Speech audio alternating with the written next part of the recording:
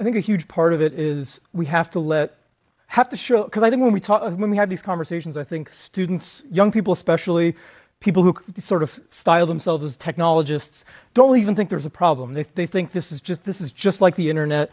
Um, and I think one of the a couple of the authors that I really like, someone like Jonathan Haidt, someone like Cal Newport, who's himself a computer scientist, they pointed out that um, not all screens are created equal just, we, we made a huge mistake as a society in thinking that just because we're, we're scrolling social media on a screen and we watch movies on a screen, that they're, this, that they're doing the same thing to us. They're absolutely not.